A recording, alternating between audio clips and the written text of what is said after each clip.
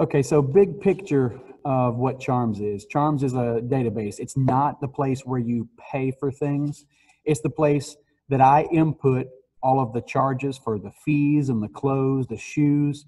It's also the place where whenever you pay online, when you pay on online school payments, it sends me a receipt as well as you a receipt.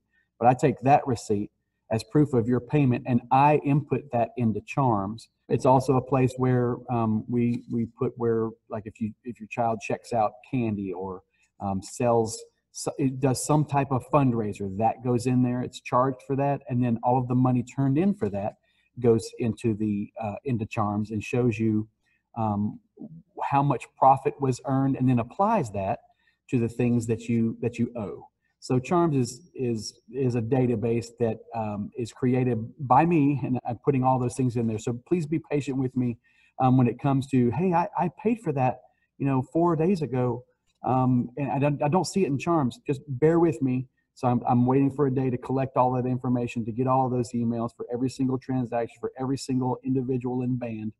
Um, and, and then I, I have a, a certain place that I write them down and then I input them um, into charm. So I just wanted you to be aware of that. Uh, and and mistakes can happen.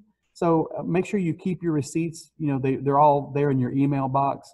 Um, if there is an issue um, after a while, and, and I and I have updated things, and something is still missing that you don't see, and you've got the the proof of that with your with your receipts, it, really helps.